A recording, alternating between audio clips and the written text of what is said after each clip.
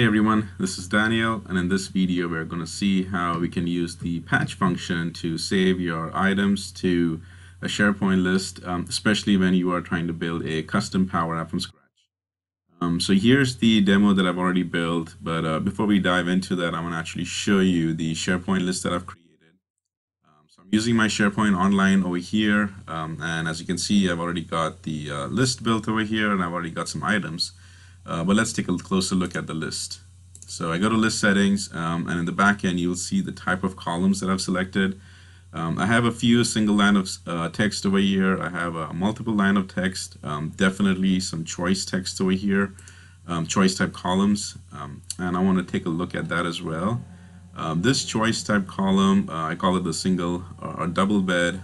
that is the radio buttons that I have. so that's one. The other one that I have is um, for this one over here and that's a drop down menu.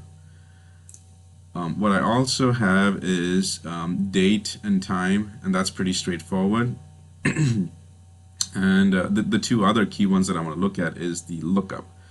Um, so I have one lookup for city and I have one lookup for state. Um, the city actually comes from this list that I have, it's in the same site collection and the same site. And uh, the state comes from, again, this list, which is in the same site collection and the same uh, site over here. So when we go back to the columns, I look at city, you can confirm that it is a lookup. It's coming from the same list I just showed. Um, and that's the column that I'm going to pull. And the same thing for the state again, it's coming from that uh, list, and then that's the column that I'm pulling.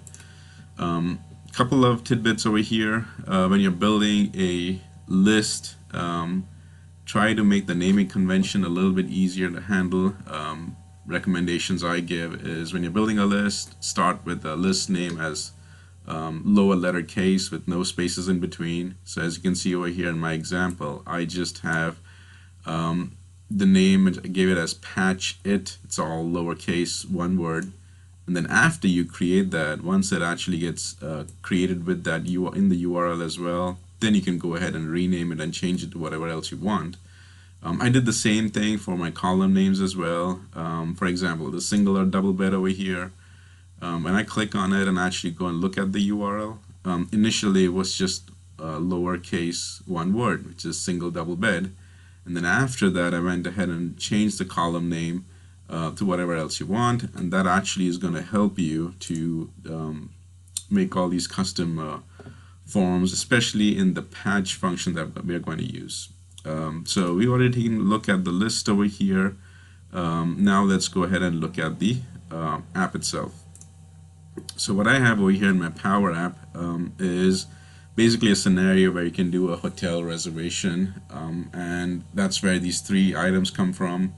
Um, and the hotel reservation app all encompasses in one screen. And then in that screen I have um, a few different things going on. So I've got created uh, groups. There's a, a view group.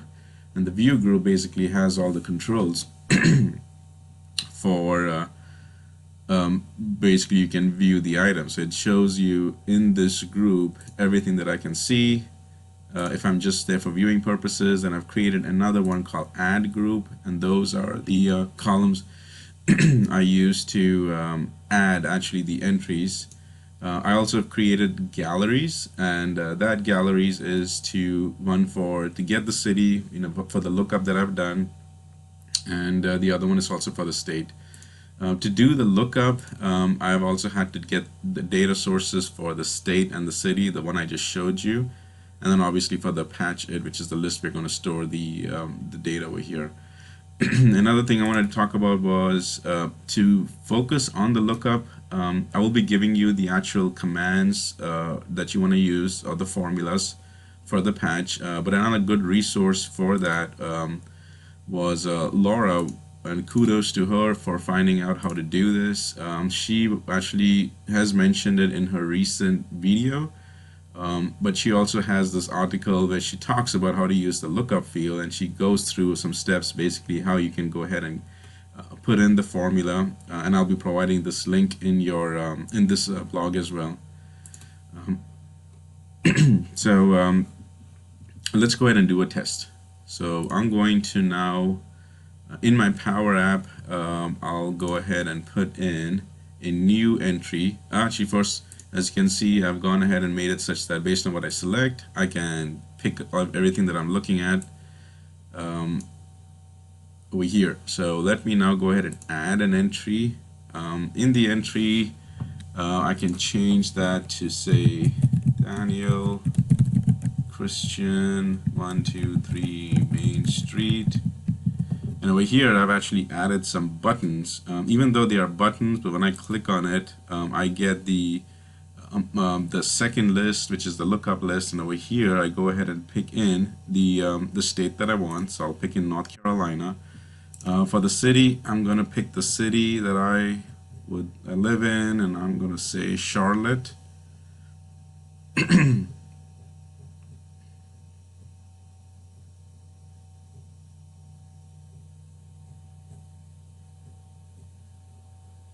That's it over here. The zip, I can put in my zip.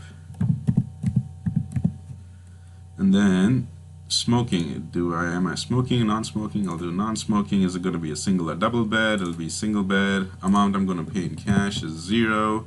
Now my arrival date, by default, it picks today's date over here. So if I go ahead and say it's going to be a future of arrival for um, Thursday, and if I select November 2nd, watch that the departure will automatically be the day after. So now I've done November 2nd, click on OK. See, and that changes to November uh, 3rd. So I'll leave that as it is. Um, in the notes, I'll put in um, I'd like to check in at 12 noon. All right, and so now I'm done over here can see those ellipses are moving so um, that's where it is going over there. My entry is made and as you see over here I've put in the first name last name the arrival day the single bed. Uh, let's also go ahead and take a look at the list itself. When I refresh it you can see that the entry has come in. That's the new one I put in. Key key things to see is is my lookup working. So yep I see that it is a URL so when I click on even when I click on it, you will see that the lookup list actually opens up over here.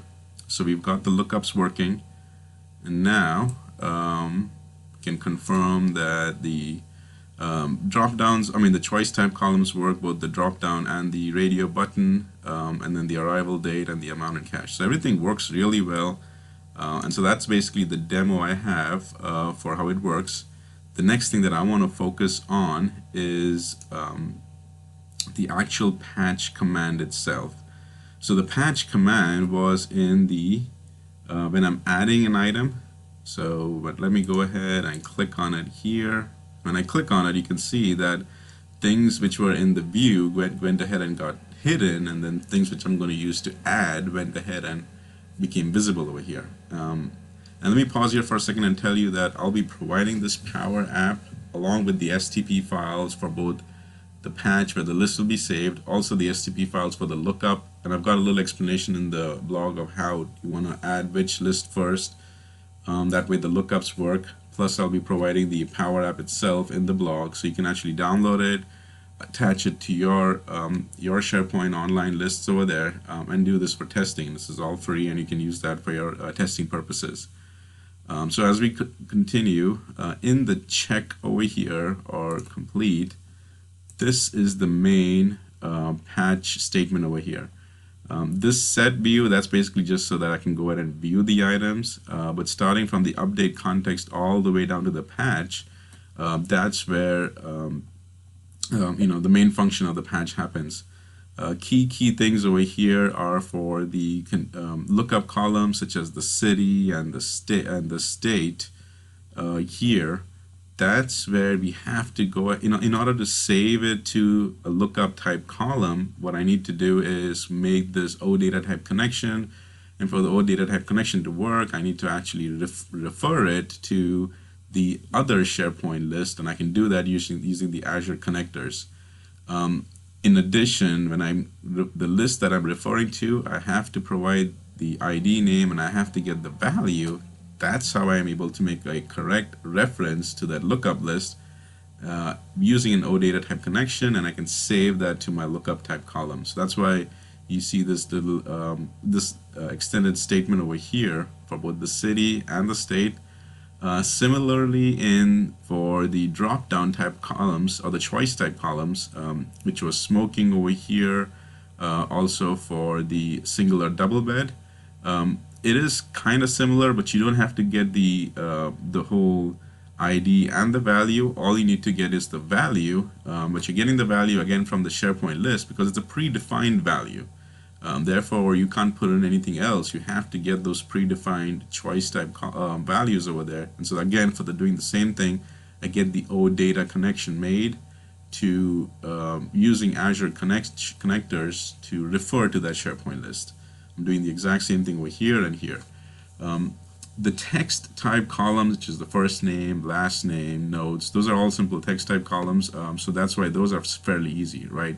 So I put in the last name, uh, which I'm saving it to the last name, and then I uh, whatever was the control that I put in and named it, um, I just put in the text over here.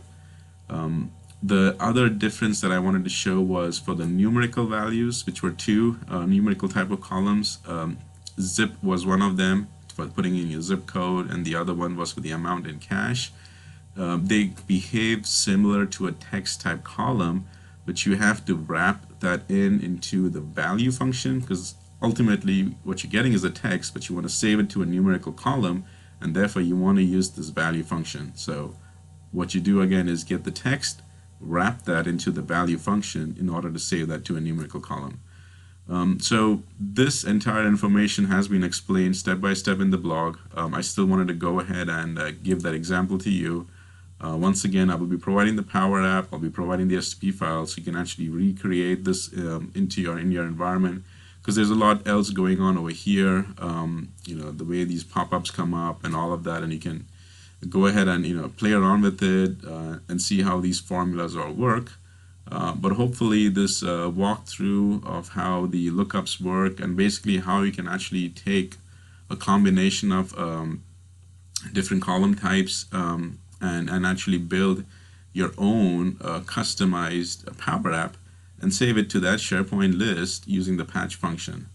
Um, finally, in the end, there's two things that I have skipped, and that is by design. Um, as you can see that I did not use any metadata type of column. Um, I also did not use a choice type in multiple selections. Um, those two are currently not supported um, and I can show you over here when you go to the uh, SharePoint, uh, connect to SharePoint from Power Apps, um, whose link or URL I provided, there is a section called Known Issues. In the choice, right now the only support is single values. Therefore, I did not use the multiple value selection over here. Also, even you go to metadata, it is currently only read-only, so you cannot write back to that. However, if you are in need of doing any managed metadata type of um, adding an entry to the SharePoint list, um, you are uh, I, I, highly recommend taking a look at Paul Culmsee's uh, Power Apps Flow and Manage Metadata Fields. It's a four-part series, and he's really done a deep dive on how to use that. Um, so you can definitely refer to it. Uh, its link is also what I provided, um, and I've also provided um, uh, Laura Rogers' uh, link where she actually did talk about this lookup field as well. Um, so you're welcome to look at that. So hopefully this demo and this um, uh, Power App will actually show you that you do have the functionality now to go ahead and use the patch command um, to save multiple or different types of columns in your backend SharePoint list. Thanks.